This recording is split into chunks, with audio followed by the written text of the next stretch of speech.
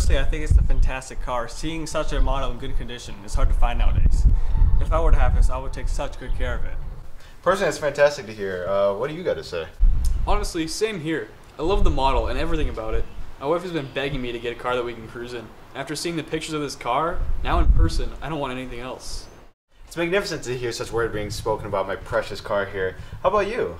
Alright, after seeing this car, it's like, it's, not, it's nothing special. It probably got terrible mileage, and I can honestly find a better looking car than this. And I, I can't imagine the amount of pollution this car gives out. Could you say such a thing? This car's a rare collectible. This sounds like a play from Shakespeare. I don't care what it sounds like. Wait, who's Shakespeare? William Shakespeare was born on April 23, 1564. He was born under his parents, who were John Shakespeare and Mary Arden. His father, John Shakespeare, worked as a glove maker. The town that the family took homage in was the town of Stratford. His father held an official position in the town. With William's father having such a high status in town, Shakespeare was able to attend school. The school was called Stratford Grammar School, and here he was taught how to read and write. When William was just 18, he married a 26 year old woman named Anne Hathaway. She was already pregnant at the time. Their first daughter, Susanna, was born in 1583, and two years later, Hathaway gave birth to the twins, Hannah and Judith. In 1592, the first records of Shakespeare's whereabouts after the lost years were documented. The document shows him as a founding member of the Lord Chamberlain's Men. Was a company known for acting. By 1599, Shakespeare built the Globe Theatre along the Thames River. During this time with the company, he wrote some of his most famous romances, known as The Tempest, The Winter's Tale, and some tragedies, known as Macbeth and King Lear.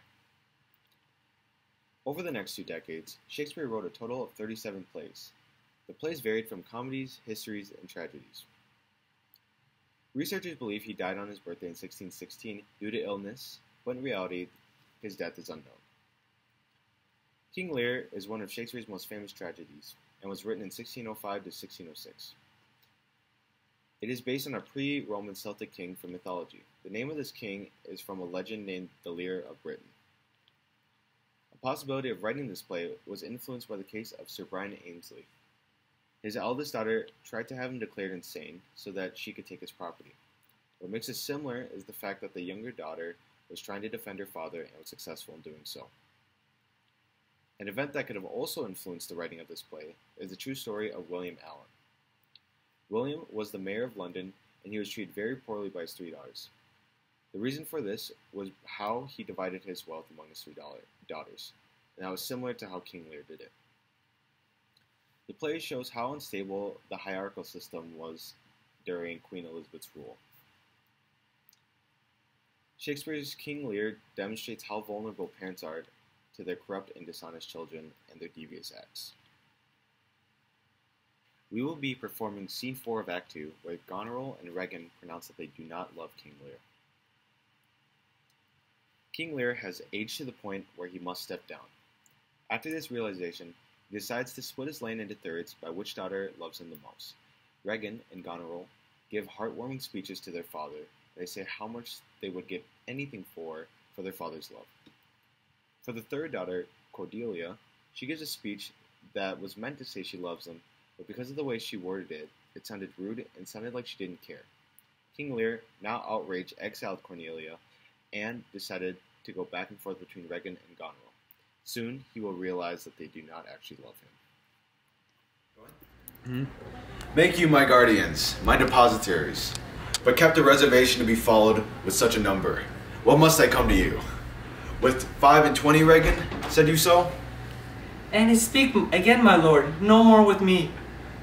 Those wicked creatures yet do look well favored. When others are more wicked, not being the worse, stands in the rank of praise. I'll go with thee. Thy fifty yet doth double five and twenty, and thou art twice her love. Hear me, my lord. What need you five and twenty, ten or five, to follow in a house where twice so many? Have you a command to attend to? What need one? Which scarcely keeps thee warm, but for true need. You heavens give me the patience, patience I need. You see me here, you gods, a poor old man. As full of grief as age, wretched in both.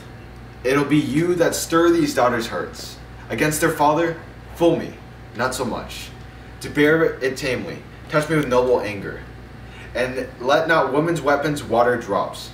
Stain my man's cheeks. No, you unnatural hags. I will have such revenges on you both, that all the world shall, I will do such things. What they are yet, I know not, but they shall be. The terrors of the earth.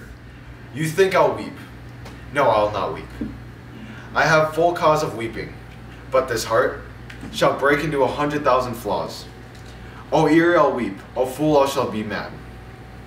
Exit you must. You hear him sing, What am I doing? Okay. Might need to read.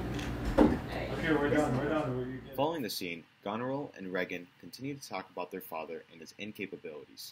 This allows the reader to learn more about the dishonest love between the two daughters and their father. There's also a storm that is happening at the exact same moment, and with this, they are able to end the scene. The theme that is portrayed in this scene of the play is blindness. This theme is prevalent in this case because the king is trying to use his power to overpower his daughters in the belief that they actually love him.